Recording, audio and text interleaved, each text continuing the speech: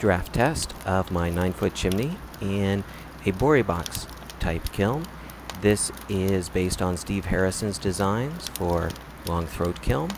Um, I've added in the back, which you'll see in a second here, a little humpway at the top, a tiny little sutema based on Furutani's ideas, and you can kind of see the cat tower behind the chimney there, and a cat enjoying the sun.